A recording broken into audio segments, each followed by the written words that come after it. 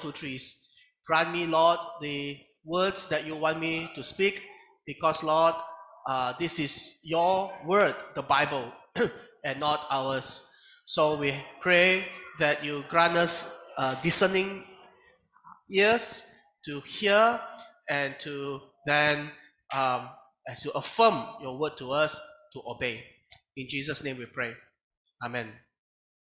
Okay, so uh, today will be a bit different uh, because I'm telling a story, a tale of two trees. For, for the previous weeks, we have been looking at um, certain cultural artifacts of every week a, a different cultural artifact of uh, the ancient Near East. Uh, this time, we're going to be looking at something, the, the same kind of things, but from a different way of looking at it, from this story of the Bible, how the Bible talk about these two trees. So we begin from the very beginning, of course, as I continue to admit people into the Zoom meeting. Okay, so in the beginning, God created the heavens and the earth. The earth was without form and void, and darkness was over the face of the deep. So the Bible begins with a desert, a wasteland without form and void, darkness, and the ocean, the deep, right? Now you're going to ask me, well, is it a desert or is it an ocean? You're missing the point, all right? These are all um, words or other images of uncreation, right? Of course, with the modern language, it will be nothing. But nothing is so abstract that even modern physicists couldn't grasp the meaning of nothing, right, without a thing to the extent that some uh, physicists uh, made the error of saying things like nothing is inherently unstable. No, nothing is not inherently unstable. Nothing is without a thing. Okay, so there's nothing to be unstable about the nothing. You know what I mean? So uh, sometimes there's reify the word nothing that it means something. So it's not a very easy concept. So the Bible talks about this instead of talking about nothing and something, talks about the state of uncreation and the state of creation, right? The state whereby it is non flourishing to the state of flourishing. And so we have these three uh, phrases that talks about um, uncreation. We have total wasteland, pure darkness, and only the sea right? This is, this is not the human realms, not the realm of human flourishing. Wasteland, the desert, is not the realm of human flourishing. Darkness is not the realm of human flourishing, right? And there's only the sea. That's not the realm of human flourishing. And um, from there, we go to the end of the Bible. In Revelation 21, we have, Then I saw a new heaven and a new earth. For the first heaven and the first earth had passed, and the sea was no more. And I saw the holy city, New Jerusalem, coming down from heaven, and there will be no night there, right? So, correspondingly, at the end of the Bible, in the beginning, we have God created the heavens and the earth. And at the end, there is, I saw a new heaven and a new earth. And instead of the total wasteland, we have the new Jerusalem uh, instead of pure darkness, there is no more night. Night is banished. And only the sea, to the sea was no more. The sea was banished. And so we can say that the whole Bible is about a movement, a movement from total wasteland to garden city, right? From pure darkness to pure light, to only the sea to only land. And uh, there is a um, way of talking about Genesis 1 and 2 that is actually not 100% accurate. We usually like to talk about in the beginning, God created the world perfect, right? It's a perfect creation. Uh, no, it's a good creation. Good, good, good, good, good, good, very good. But perfect was not part of the vocabulary of Genesis 1 and 2 perfection is here in Revelation 21 and 22. Okay? So the Bible, actually, what God is doing is that God, the, the Bible, and this period of history, is about God, God's creation progressively creating up from the total wasteland, transforming it to eventually a garden city, and uh, from pure darkness to pure light, and then only the sea to only land.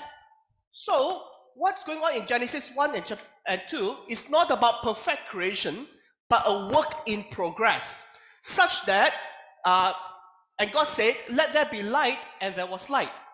And then there was the evening, and there was the morning. You know what I mean? Let there be light, and there was light. And God called the light day, and called the darkness night. So God didn't banish darkness in Genesis chapter 1. Neither did he nor did he banish the, the sea. Okay? Dry land appear, and the dry land he called earth, right? And the waters he called sea. So it is a 50-50 kind of a thing. You know what I mean? Actually, less than 50-50 ocean, you know, you know what I mean? It's a lot more. Okay, so, and then God planted a garden, a microcosm of perfection. All right? Planted a microcosm of perfection here. Right? So why is the world the way it is? It's because we are still on a journey from God's from, from chaos into order.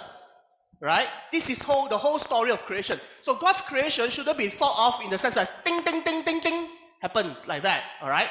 But rather, it is like a, a, a, a canvas and then pour, or, or, rather like my children's toys, right? Lego. You throw all the Lego pieces and then you, you slowly mold and you mold and you mold and you build and you build and you build what was the gold and bdellium and onyx stones scattered around the river, all right, into a builded city in the New Jerusalem. You get it? All right, it's a construction site.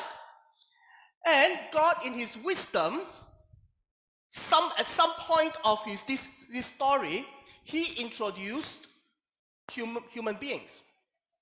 God said, Let us make man in our image and after our likeness, and let them have dominion over all the earth, to subdue the earth, meaning that the earth is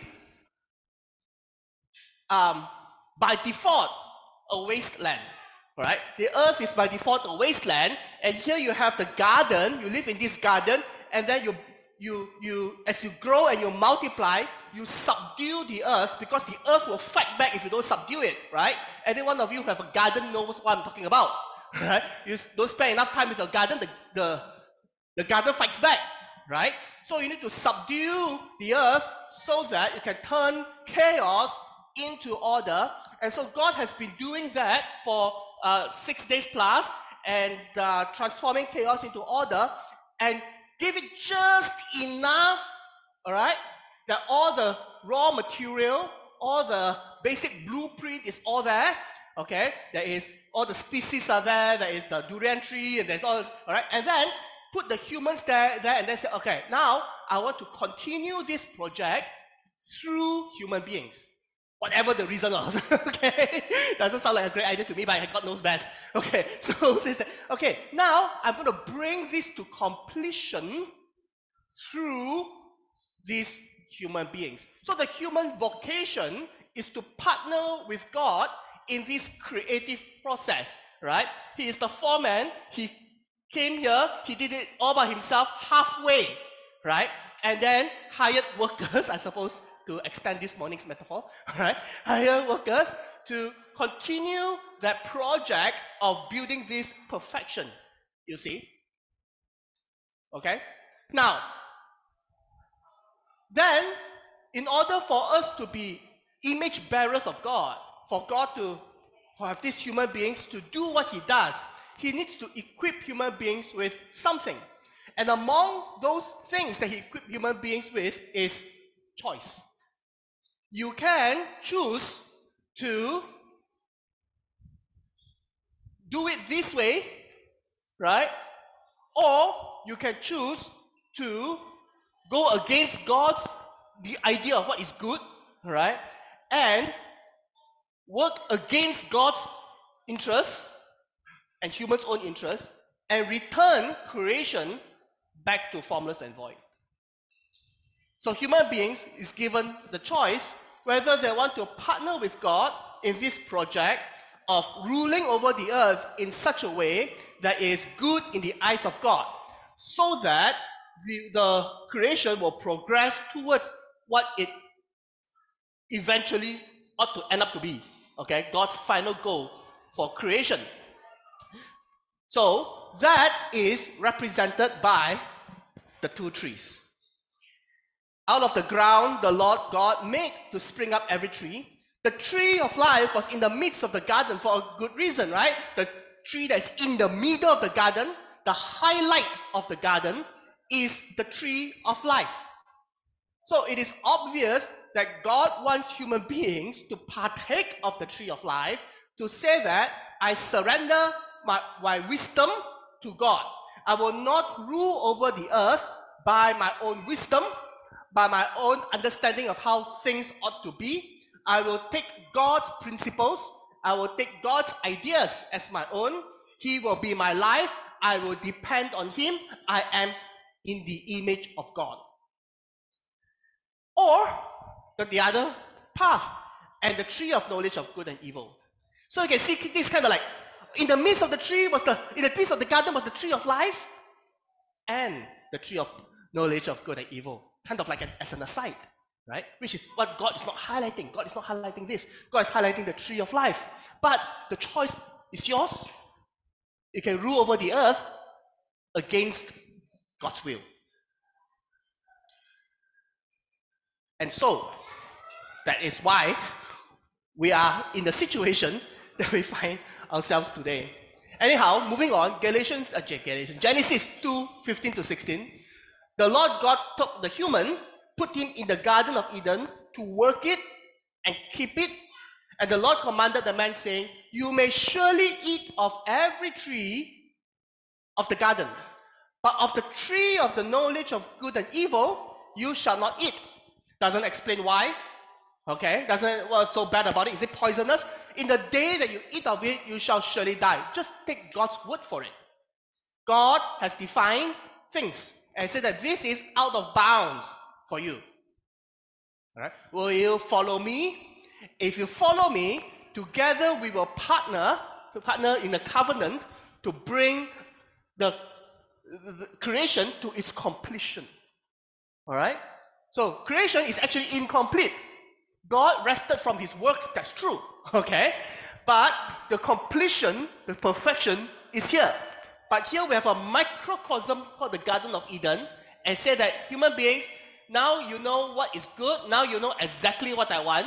All right, enlarge this Garden of Eden so that it fills up the whole earth, so that the whole thing will be a garden city. Will you participate with me in this project? The choice is yours. And so, if you do it God's way, we'll end up here if you do it against God's way, way, then you are pulling creation back to formless and void. Okay? Every lie we tell, we are pulling creation back to chaos. Right? We're putting our relationships in jeopardy. Every time we sin against God, we are introducing chaos into God's world. We are moving backwards right? instead of forwards. Okay, so that's the deal. That's the story. Then come Genesis chapter 3. The serpent said to the woman, Did God actually say, You shall not eat of any tree in the garden? God planted all these delicious fruits, uh, tree, fruit trees, and said that, huh, you can just see but not touch. right? And the woman said to the serpent, We may eat of the fruit of the trees in the garden, but God said, You shall not eat of the fruit of the tree that is in the midst of the garden, neither shall you touch it, lest you die. So she knew God's commandment. She a lot of people think that, you know, well, if human beings were before they committed sin, they didn't have the knowledge of good and evil, then how could they be held culpable? The knowledge of good and evil is not about knowing what is right and wrong per se, because before that, anything that God commands is good. Anything that God forbids is not good. So their paradigm of good and evil came from God. And so she's able to repeat exactly what is good and what is bad according to God's definition. The knowledge of good and evil is the ability to define for yourself what is right and wrong. Okay, God says something, I'll have to make a decision on whether what God say is right or wrong or not. Okay, I have my own version of what is good and evil, right and wrong. Okay, and the history of the world is just full of these examples of human beings says, well, yes, God has a set of what is good and bad, what is right and wrong. All right, well, that's what God says. And here is my addition, all right, of what is good and evil, right and wrong. I'm going with this. She's innocent of sin, but she knows what sin is. But the serpent said to the woman, You will not surely die. For God knows that when you eat of it, your eyes will be open you will be like God. Now, I have explained why I prefer the King James Version in translating, and you will be like gods, and I will, you will be like one of us, like gods, all right? Knowing good and evil. You will get to define and determine for yourself. You don't need to be an image bearer, you'll be a free agent, okay? On the matter of right and wrong. So, when the woman saw that the tree was good for food, and that it was a delight to the eyes, and that the tree was to be desired to make one wise, she stretched out her hands, she took of its fruit, she ate, she gave some to her husband who was with her because he wanted to eat it, but he didn't want to be the first one to break God's command. Okay, and he ate. And the Lord God said to the woman, Mazot asid. What is this that you have done? Mazot asid. So we have a few terminologies that are very interesting. We have see. Okay? Or various conjugations of it. Alright? See, saw, seen. See. We have good for food. Okay? See. Ra'ah. Good. Tov uh, we have tuk, lakach. We have gave, Nathan. Nathan. And then we have, what is it that you have done? All right. So, these are words that we're going to see over and over again. You see something, it's good in your eyes, right? See something, good according to your own definition in your eyes, that's what it means, right? Good in your eyes. So you stretch out your hand, you take, you eat, and you gave someone else to eat. Okay? So, after the fall, God came up and said to Adam, Adam, because you have listened to the voice of your wife, okay? Listen to the voice of your wife, bad idea, and have eaten of the tree of which I commanded you, you shall not eat of it. Cursed is the ground because of you. Instead of blessing, that brings in the curse. Instead of moving this way, you are moving us back that way. You, you got what I mean? Okay? You bring a curse is the ground because of you. Your job is to bring creation this way, okay? But you are leading creation back to formless and void. In pain, you shall eat of it all the days of your life. So, God, the Lord God said, Behold, the human being has become like one of us. He agrees. All right? That's why I would translate it as to be like gods, like one of us, in knowing good and evil. Now, lest he reach out his hand, so reach out. Now, reach out is the same word for send. Okay. Uh, why? Because when you or stretch forth your hand, because I guess when you stretch forth your hand, that is to send like that, right? So that is the same same word to send for, to stretch out your hand. Okay. Um, yeah. Of also of the tree of life and eat and live forever. Therefore, God sent him out. so instead of to prevent the human being from reaching out, God sent them out. Same same word. All right, shalach.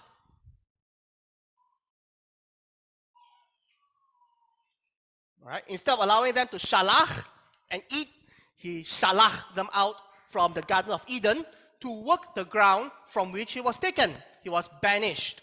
He drove out the man, and at the east of the Garden of Eden, he placed the cherubim and a flaming sword that turned every way to guard the way to the tree of life.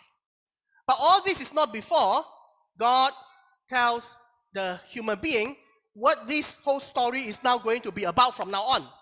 From now on, the story is like this The Lord God said to the serpent, I will put enmity between you and the woman, and between your offspring and her offspring. She shall bruise your head, and you shall bruise his heel. Theologians call this passage the Protevangelion.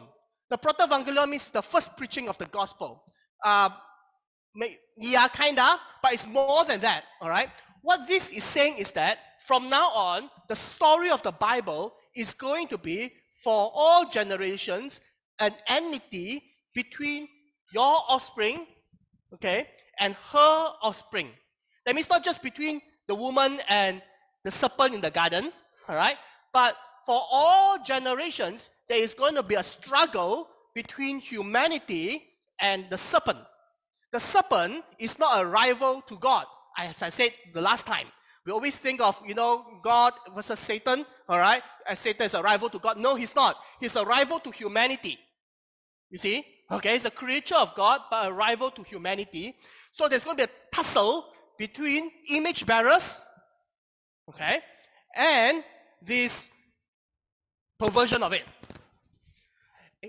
And there's going to be a fight. The human will bruise your head, and you shall bruise his heel. Right? They've allied together. They have joined forces to rebel against God, but there is no honor among thieves. Right? They're going to fight among themselves as well. You shall bruise your head, you shall bruise his heel. Now, this tells us that this is how to read the rest of the Bible.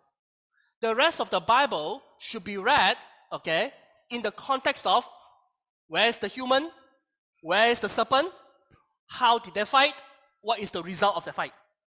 You see, this passage sets the program for the rest of the Bible. So then you turn to the next page to Cain and Abel, right? You want to determine, okay, who is the image bearer? Where is the serpent? Right? The beast inside is what's going on, right? The beast inside. Sin is like a crouching beast within you. He's trying to have you, okay? But you need to rule over it. And by giving into it and bringing in death, right? That is that story. So Cain and Abel is a repeat of this story.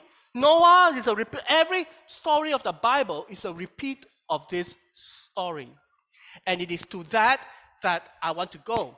It is like what I say in the first session on the fifth symphony. This is one of the dun dun dun dun, right? And as you go, and you need to look for the next dun dun dun dun. You know what I mean? I'm saying, okay. So so therefore, this is this is a symphony, and every time we come to the Bible, one of the first things we need to ask ourselves is this: How is this a permutation of the Garden of Eden story? How is this a permutation of the two trees? Thus, the title, A Tale of Two Trees. So we're going to begin with Father Abraham. okay? Father Abraham. Now the Lord said to Abraham, The whole world has gone into chaos. I'm going to create a new Adam. I'm going to have a new humanity. And Abraham you are going to be the new Adam. You are going to be the new human who obey me. Go from your country and your kindred and your father's house. Go, go out, go out. All right? It's a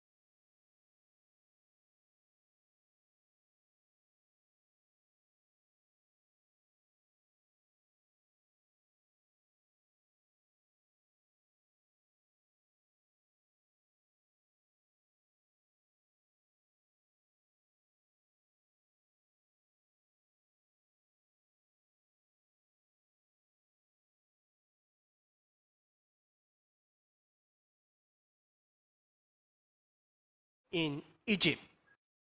For the, and here's the reason. For the famine was severe in the land. It's a test. Now, when he was about to enter Egypt, he said to Sarah, his voice, listen to my voice. Okay, so Sarah, his wife, listen to my voice. So the role kind of swapped around between uh, Adam and Eve and between Abraham and Sarai. I know that you are a woman beautiful, the same word tov. You are tov, right? You're tova, the feminine version. You are tova in appearance, and when the Egyptians, when they ra'ah, when they see you, they will say, This is his wife, then they will kill me. They're gonna be Cain. All right? And I'm and I'll be Abel in this story, and it's because of you, because you are pretty, and in their eyes, when they see you, they're gonna take you. They will kill me, they will let you live. Okay? Say you are my sister, that it may go well with me because of you, and that my life may be spared for your sake. You see, the test is always like this. The why did God make God make? Why was the tree of knowledge of good and evil so attractive? Because it's a test. Imagine if it is the tree of life that's super attractive, all right, and the tree of knowledge of good and evil is like absolutely rotten. Nobody will ever choose the tree of knowledge of good and evil. What kind of a test is that? you know what I mean? If your if God's will is always aligned to your will, there's no test.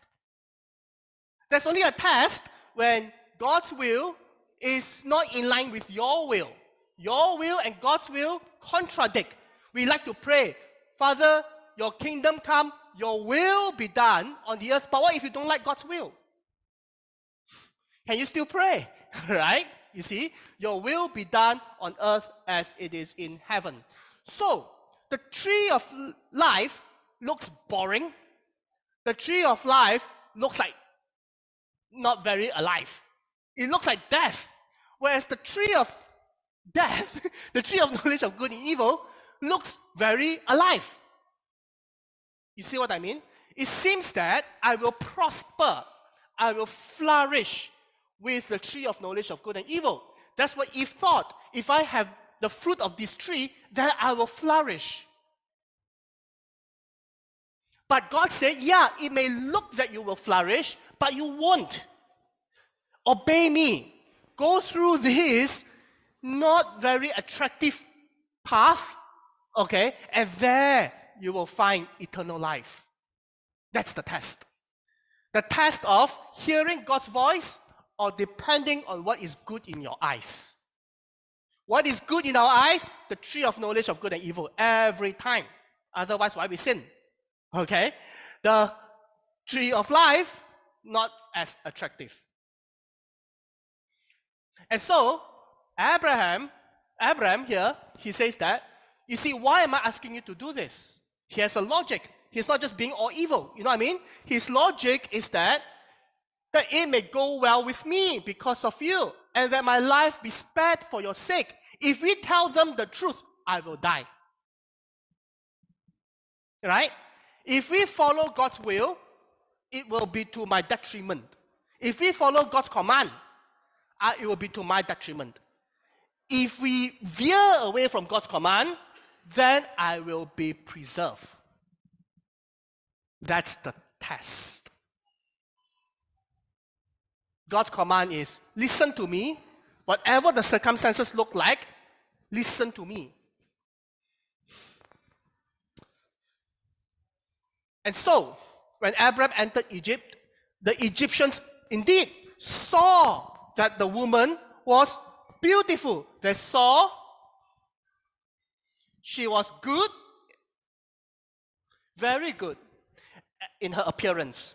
And when the princess of Pharaoh saw her, they praised her to Pharaoh, and the woman was taken, right, and was given to Pharaoh. Sarah was the forbidden fruit. How many times must it, must, must it repeat in that passage that she is your wife? He is someone else's wife, right? She is the forbidden fruit. Who is the human that is being tempted? Pharaoh. Who is the serpent? Abraham. Okay, this is a very inverted way of form of dun dun dun dun. right? Here, Abram plays the role of the serpent with his wife as the fruit, forbidden fruit, and Pharaoh is the one that has to make a decision. And so, well, Pharaoh made a decision. So the Lord afflicted, struck Pharaoh and his houses with, with house with great plagues, anticipating what's going to happen. Some chapters down the road, right? Uh, with great plagues because of Sarai, Abram's wife. So he suffered pain. So Pharaoh called Abram and said, Ma as mazot asita. What is this you have done to me?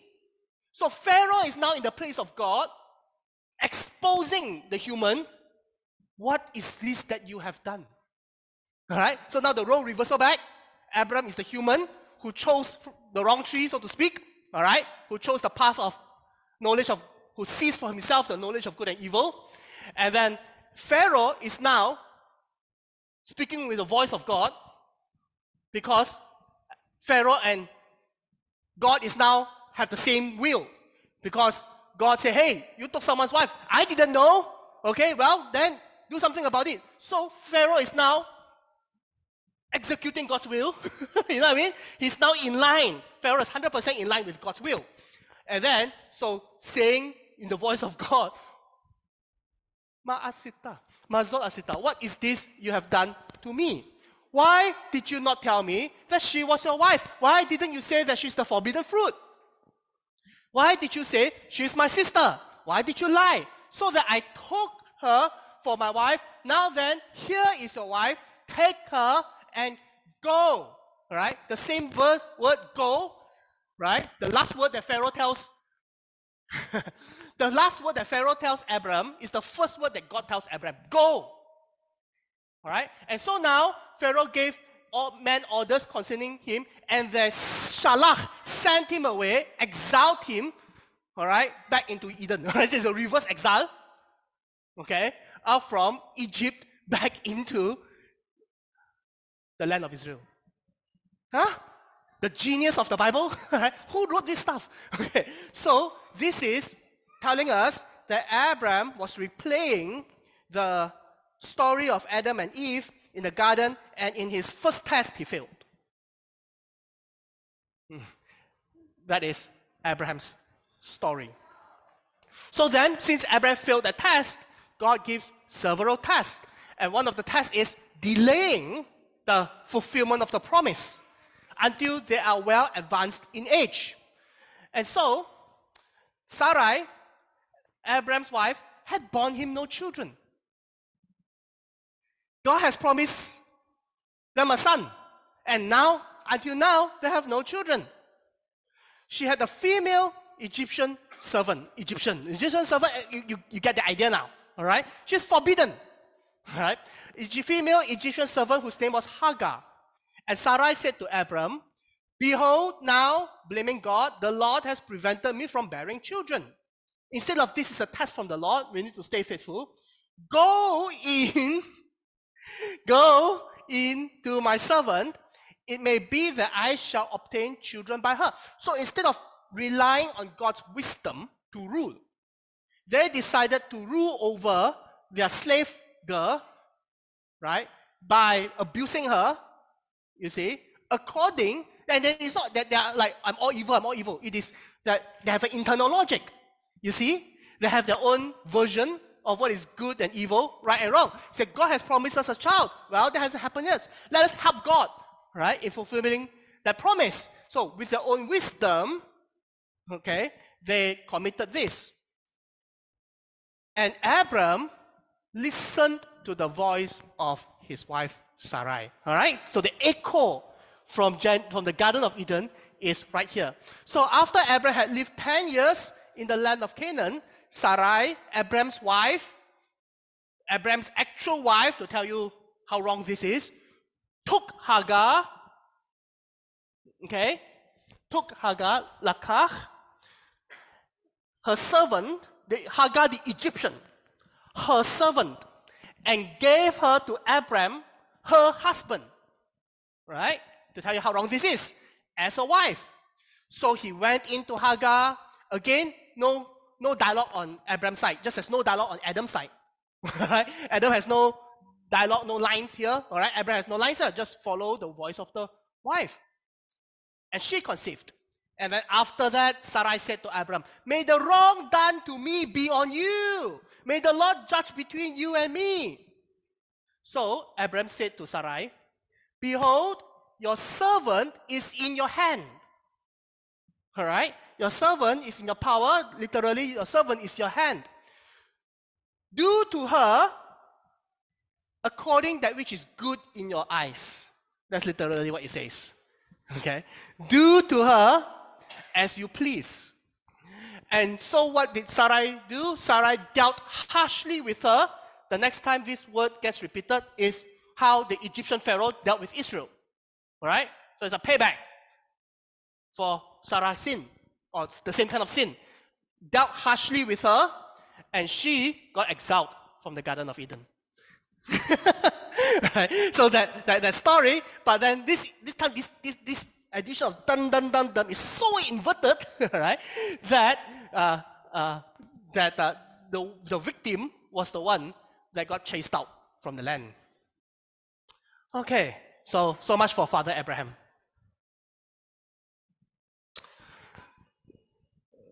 Okay. And two generations later, Leah saw Ra'ah that she had ceased bearing children, the same theme, bearing children, bearing children, bearing children, right? The same theme.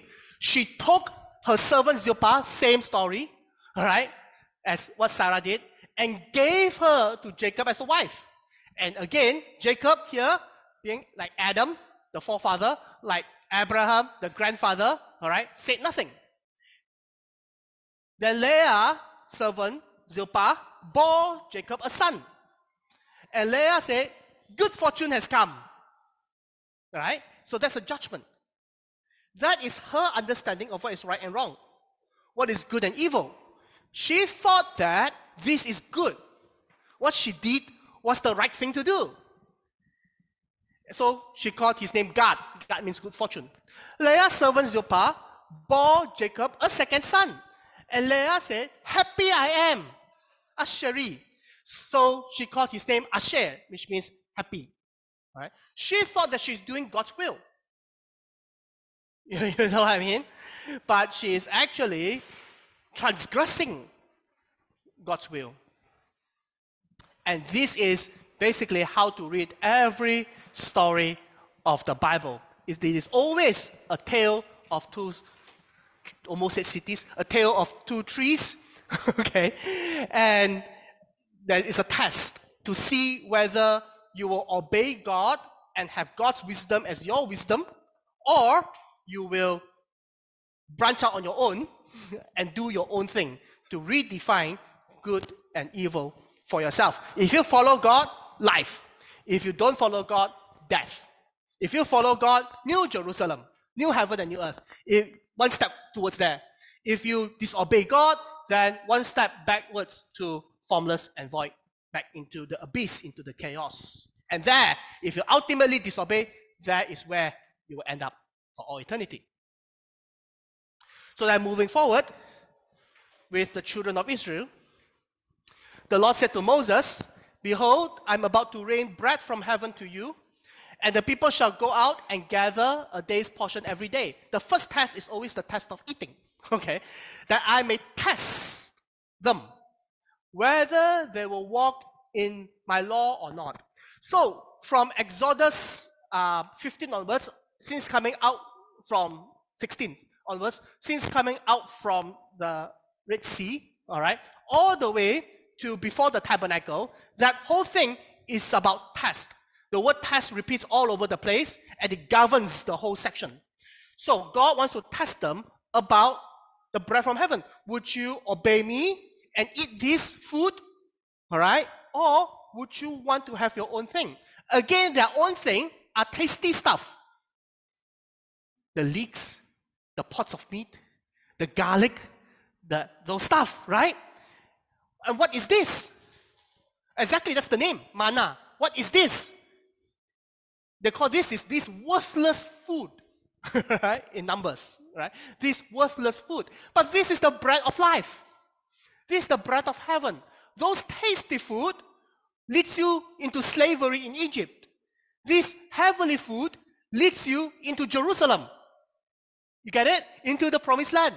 So, which food would you have?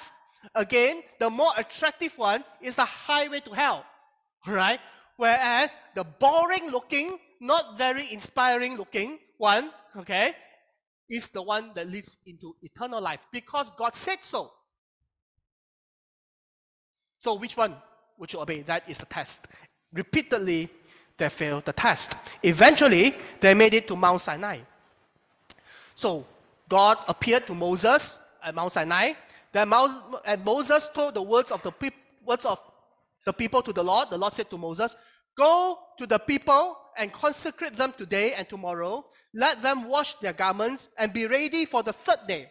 The third day is always a day of testing, a day of decision. All right, a, a, a, a kairos now. All right, the third day. From on the for on the third day, the Lord will come down on Mount Sinai in the sight of all the people, and you shall set limits for the people all around. I've already covered the mountain of God, all right? God is going to make that place the Garden of Eden. You see, all right? He's going to come down.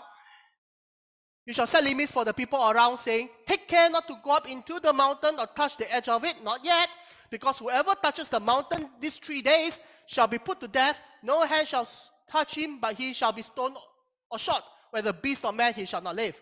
Now, when the trumpet sounds, oh, wait for it, wait for it. When the trumpet sounds, a long blast, a long blast, when you hear the shofar do that, they shall come up to the mountain. Right?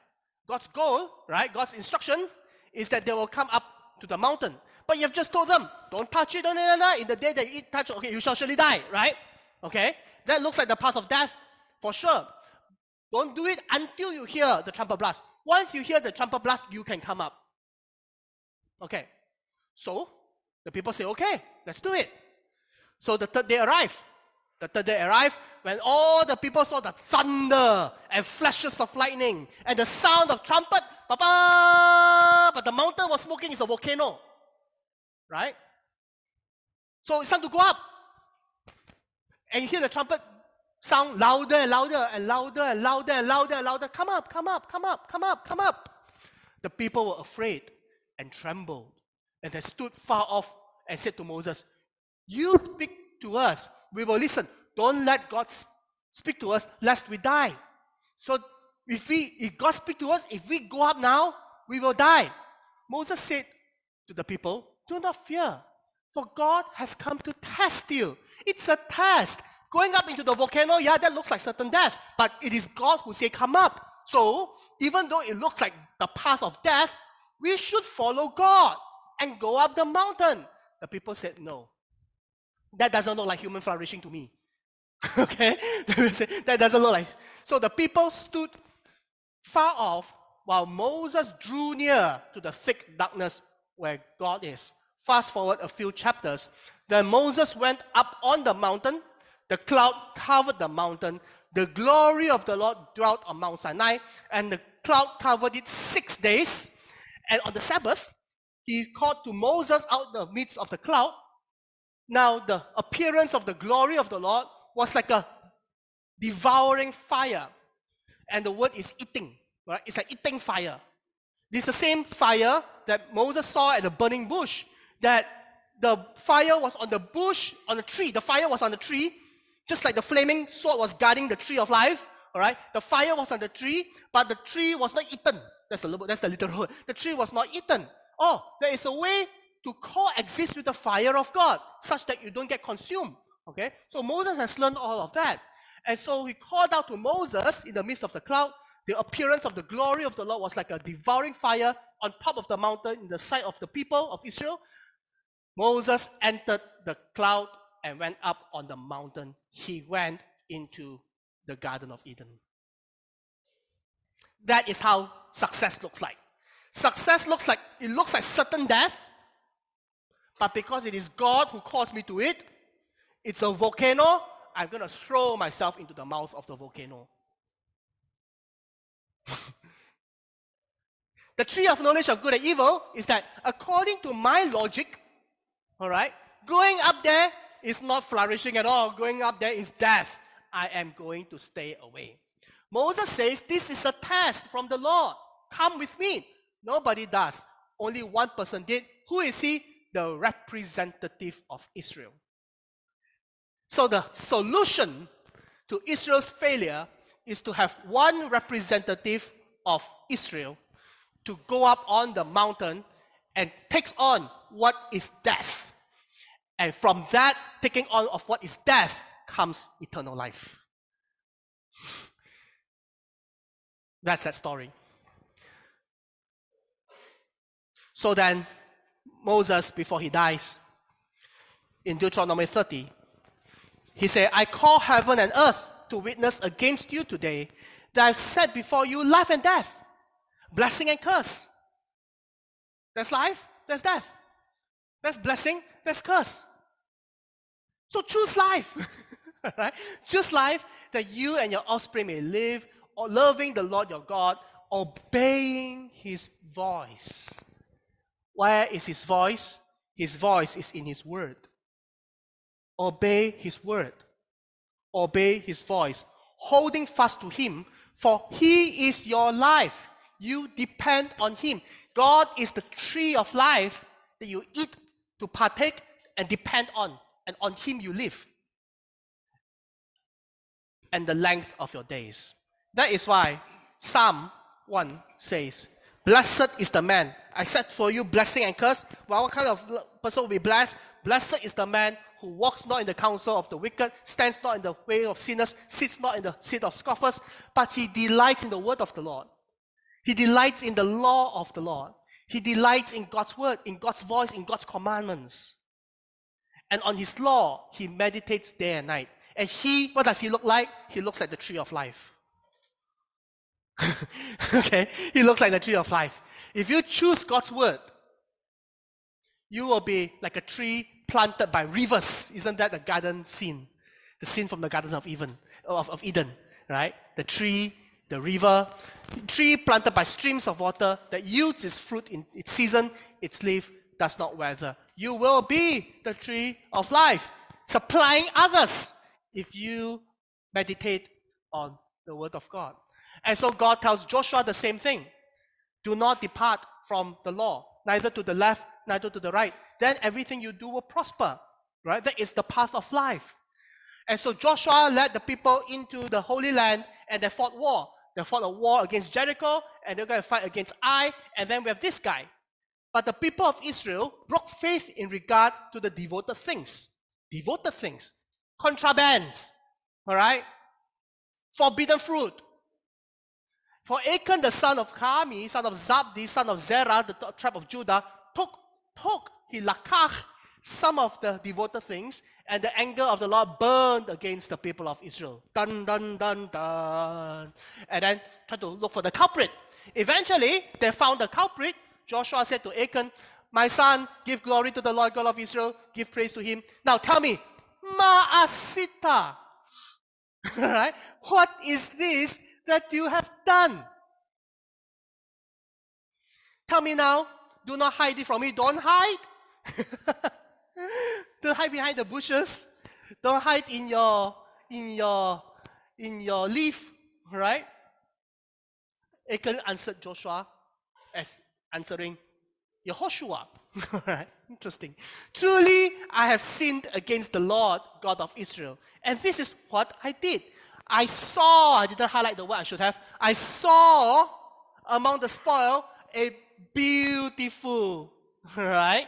A beautiful cloak from where? From Babylon, from Shinar, from the Tower of Babel place. okay? And so I coveted and I took. It doesn't belong to me.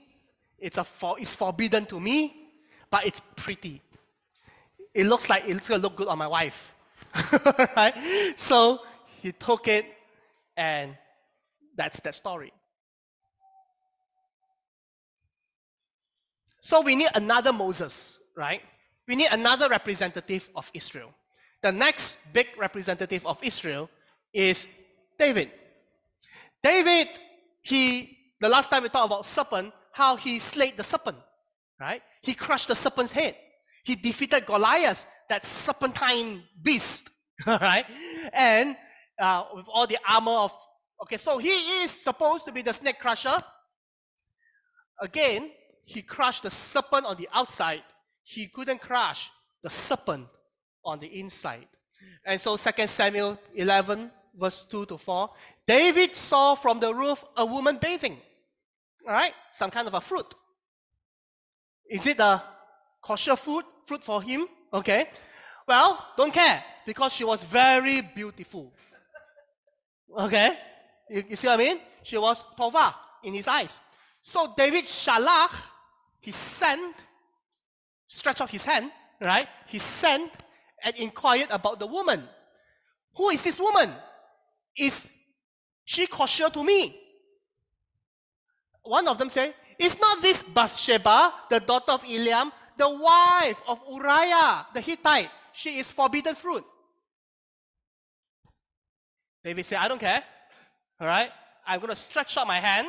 I sent messengers, took her. She came to him, and he lay with her. All right? The seed of woman.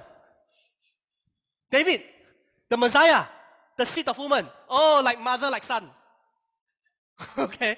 Did exactly the same kind of sin there. And so, we have the struggle of the Bible. Which way do you go? Two ways to live. Not even the best of men could withstand the temptation. A man after God's heart can't do it. Oh, we need a, another David, right? We need a new David. And so we turn on to the New Testament. The same serpent came to Jesus and said, If you are the Son of God, let's talk about eating again. Let's go back to the original temptation. All right? Tell these stones to become bread. That looks like flourishing. Yeah, it does look like flourishing. What's wrong with that? What harm does that bring? Who gets hurt if the Son of God turns bread into loaves? The answer is, well, it doesn't matter. What matters is that did God command that? And Jesus says, I don't hear God commanding that. Man shall not live on bread alone, but man eats the word of God. Right? Man do not just live on, man eats the word of God. Every word that comes out from the mouth of the Lord. God has not commanded me to do this, I won't do it. So by doing that, he overcame the original temptation. Again, the devil took him to a high very high mountain and show him all the kingdoms of the world and the splendor, the counter mountain. All right? The counter mountain. All this I will give you. I will, I will give you. I will give you. The, the, I will give you. That's what you came here to do for. You came here for the kingdoms of the world. You came here to recover the kingdoms of the world. Don't need so hard. I give you. If you bow down and worship me. That's the forbidden fruit, the kingdoms of the world. The forbidden fruit is that, yes, Jesus, you are going to inherit the kingdoms of the world, but not this way, not in this manner. Jesus says, Away from me, serpent, away from me, Satan. It is written, Worship the Lord your God and serve him only. Jesus overcame the test of two trees. But comes the ultimate test. When his will, when God's will does not necessarily align to his own interest. In the Garden of Gethsemane, he said to his disciples, Sit here, I go over to there to pray. He said to them, My soul is very sorrowful, even to death. It, this feels like death. This doesn't feel like flourishing to me. Right? If I just look with my own eyes, this looks like terrible stuff, something I should avoid. Remain here, watch with me. Going a little farther, he fell on his face and prayed, saying, My father, if it is possible that this can be done some other way. All right? Let's go for some other way. I know what your will is, but you know, Father, if you can do this in a different way, okay, let's do that. Now that becomes a test. If your will, if God's will is always 100% aligned to your will, there's no test. All right? It is precisely because there is a, uh, some difference between what God wants and what you, what you want. All right? That, that Jesus pray, not as I will, but as you will. In that prayer at Gethsemane, three times, Jesus aligned his human will to the divine will. Jesus aligned his human will to the divine will and said, Yes, I know this is death, but I know that if I obey God's voice, what looks like death to me is eternal life. If I cease for myself the knowledge of good and evil, if I cease for myself the de- how to determine what to do, all right, though it looks like self preservation, it looks like I get to live longer, that is the highway to hell for the whole world. That's the test. And therefore, as we look on the cross, as, as we sing, Almighty cross, love lifted high, the Lord of life, raised there to die. His sacrifice on Calvary has made the mighty cross a tree of life to me. The mighty cross, because he took on death according to God's will that releases the tree of life for the rest of us. And Jesus says, You do that as well. Enter by the narrow gate. Two ways to live. The gate is wide, the way is easy, that leads to destruction. Those who enter by it are many. The gate that is narrow, the way that is hard, that leads to life. Those who find it are few. And just as I will take on the cross, so you also take on your cross. Jesus told his disciples, If anyone will come after me, let him deny himself. Deny yourself of what is right and wrong. Deny yourself of what is your logic and whatever it is. Deny yourself, take up your cross, follow me to certain death. For whoever would save his life, you think that that is flourishing, you will lose it. You lose your life, you think that that is perishing, but, it's, but it is for my sake, I'm telling you to do it, you will find life. It is the tale of two trees, is this seemingly contradiction. By the way, Abraham passed the test eventually. The father, God told him to bring your son, your only son. And he stated that this is a test. God tested him. Go up and offer him as a sacrifice. And Abraham saw and he took and about as he about to slay his child. All right? God stopped him. Abraham, Abraham, don't sacrifice your son. I don't like people sacrificing their son. I will sacrifice my son. Because this mountain is the same mountain I will provide. The substitute for your son. And all our sons and daughters. And the author of Hebrews says, you know, it must be the case that Abraham was thinking, if I kill my son, God is going to raise him up from the dead. That's exactly it. Resurrection. That's exactly it. And so today, how do we live? Those who live according to the flesh, according to what we think is right and wrong, set their minds on the things of the flesh. Those who live according to the Spirit set their minds on the things of the Spirit. For to set the mind on the flesh is death, but to set the mind on the Spirit is life and peace. For the mind that is set on the flesh is hostile to God, for it does not submit to God's law. Indeed, it cannot. Those who are in the flesh cannot please God, and it is counterintuitive right? Because the first thing, do, when something happens, the first thing is the flesh screams out something to do. We have that song, right? The flesh, by flesh, just screams out the thing to do, okay?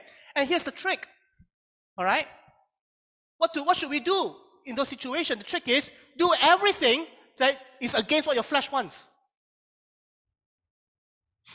okay? Chances are that's the will of God because your flesh cannot please God. This is every day we stand before two trees. Few times a day we stand before the two trees to make a decision. On ostensibly something looks very attractive, enticing, life-giving, that's death. Counterintuitively, this book that looks absolutely boring with small fonts, this is life.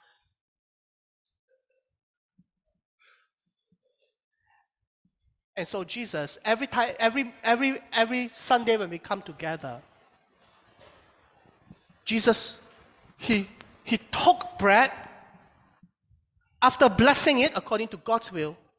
Baruch Adonai Eloheinu melech haolam hamotzi lechem min haaretz. He broke it and he gave it to his disciples and says, "Take, eat. This is my body." He took a cup. When he given thanks, he gave it to them, saying, "Drink of it, all of you. This is my blood of the covenant, which is poured out for many for the forgiveness of sins. Don't eat that. Don't eat what the world gives you. Eat what I give you. Take it, eat it. In another place, Jesus explains a little. I am the living bread. I am the manna, the test, the test that the Israelites were experiencing. I am the living bread that came down from heaven. If anyone eats of this bread, he will live forever. The bread that I will give him, give that I will give for the life of the world is my flesh. The Jews said, How can this man give us his flesh to eat? Jesus said, No, of course I am not. What? But he said first, Truly, truly, I say to you, unless you eat the flesh of the Son of Man and drink his blood, you shall have no life in you. Are you saying that this bread, this, this bread that we eat is his flesh, and then this cup that we drink is his blood? What is going on? So Jesus says, No, no, no. It is the spirit that gives life. The flesh is of no help at all. Right? Eat of my flesh, drink of my blood. No, the, the, the physical flesh, the bread, is of no use at all. It is the spirit that gives life. And what is that? The words that I have spoken to you are spirit and are life. It's the word. Blessed is the man who meditates on the law of the Lord. Choose life, obey the voice of the Lord. So, are you also going to leave the tree of life? Are you also going to send yourself into exile? I'm the tree of life. Simon Peter answered, Lord, to whom shall we go? You have the words of eternal life. So, as we meditate on His word every day, we are being transformed into His likeness. And as we are being transformed into his likeness, we are moving step by step closer and closer to the new Jerusalem, where, as was read this morning by Paget, the angel showed me the river of the water of life, clear as crystal, the Garden of Eden, flowing from the throne of God and of the Lamb down the middle of the great street of the city. On each side of the river stood the tree of life, the tree of knowledge of good and evil, no more, bearing twelve crops of fruit, yielding its fruit every month, and the leaves of the tree are for the healing of the nations. Where are you in the decisions of your life?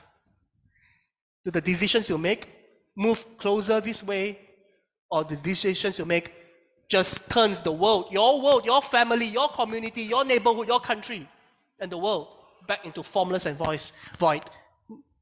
the reverse of God's creation? Or is your presence in your family life, in among your friends, your colleague, your office, a tree of life that leads people flowing into eternal life, flowing into the garden city where there is no more night and the sea is no more.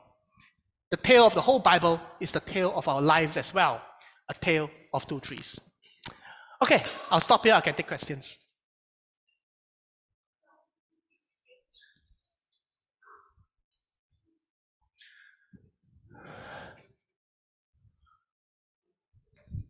Yep, the microphone so that people online can hear. Uncle Kim Shah.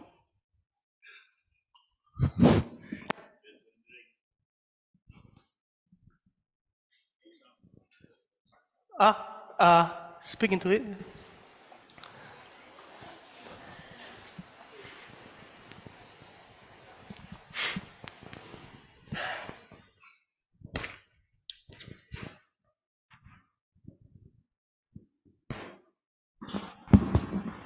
Okay, I'm just wondering. Uh, Jesus said, Your will, not my will, be done, right? Uh, also, I know uh, the Lord Jesus Christ learned obedience through what he suffered. But at that point of time, we also know that Jesus Christ is truly God, truly man. So if you were to do otherwise, has he the right? Because he's truly God. Oh, okay. Yeah, And that's would a, there be another plan? Yeah. So was it possible for uh, Jesus to sin? There are two views about it that Jesus can sin, but he will not sin. That seems to be right the way I think. So the way I think about the natures, the two natures of Christ, very controversial. A man by the name of Andrew Loke in Hong Kong Baptist University is working on this exact problem. Um, he's a Singaporean, Andrew Loke. Um, he's looking at um, the divinity of Christ, the humanity of Christ is, how do I put it? He has a consciously, he has a human consciousness. He has a human consciousness, but a divine subconscious. So in his consciousness, he's always human, such that when he was a baby, he has the consciousness of a baby. All right? And when he was a young boy, he has a consciousness of a young boy.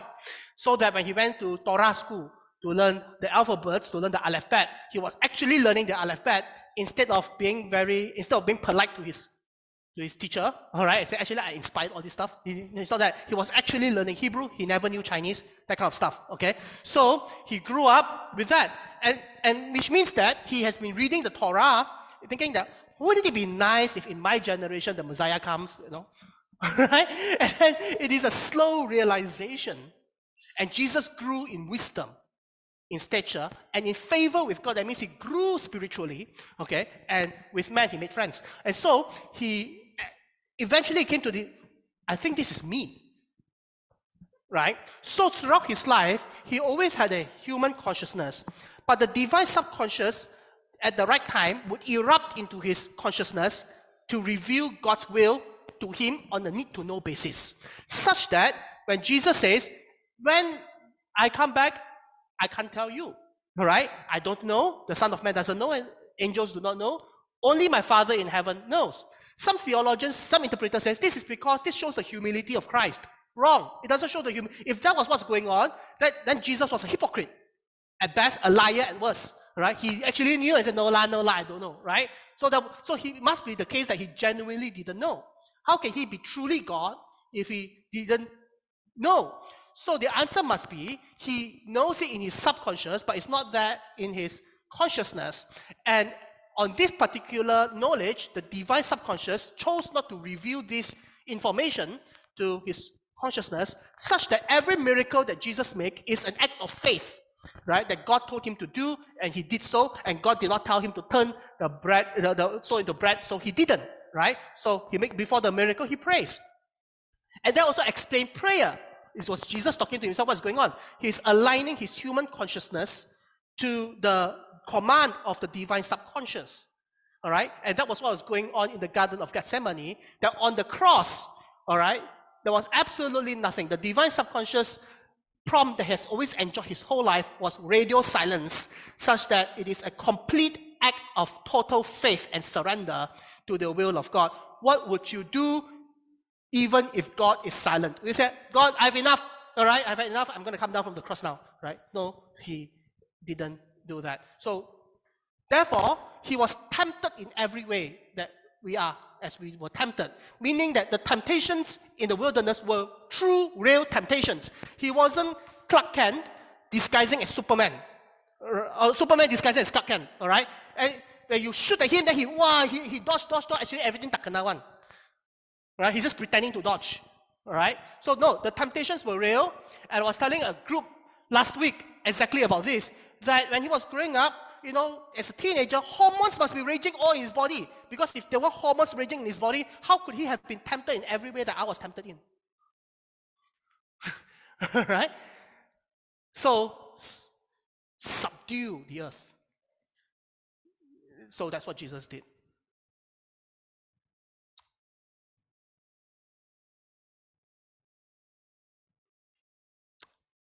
Thanks for that, for that question. That was actually the topic I was talking about last week.